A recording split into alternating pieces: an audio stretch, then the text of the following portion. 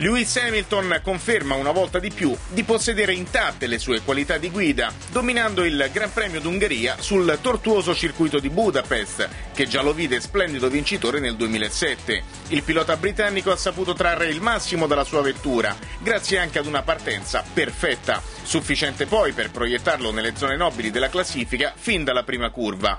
Alle spalle di Hamilton ha concluso l'ottimo Kimi Raikkonen, abile nel regalare alla Ferrari la soddisfazione della piazza d'onore. Il finlandese è riuscito ad imporre un ritmo sostenuto alla corsa, pur senza riuscire ad eguagliare le prestazioni di Hamilton. Sul gradino più basso del podio ha fatto capolino Mark Webber, unico pilota Red Bull ad aver visto indenne il traguardo. A ridosso del palco d'onore si piazzano Nico Rosberg, Eiki Kovalainen e Timo Glock. Il driver della Williams è rimasto a lungo in lizza per un posto sul podio, ma alla fine ha dovuto desistere accontentandosi di precedere l'altro pilota della McLaren, Kovalainen, e un volitivo Glock. Nella top 10 anche il leader del campionato Jenson Button, settimo all'arrivo, seguito da Jarno Trulli, Kazuki Nakashima e Rubens Barrichello. Musi lunghi in casa Renault, col poleman Fernando Alonso fuori dai giochi dopo poche tornate a causa di un problema nell'avvitamento di un copricerchio di una ruota verificatosi in corsia box.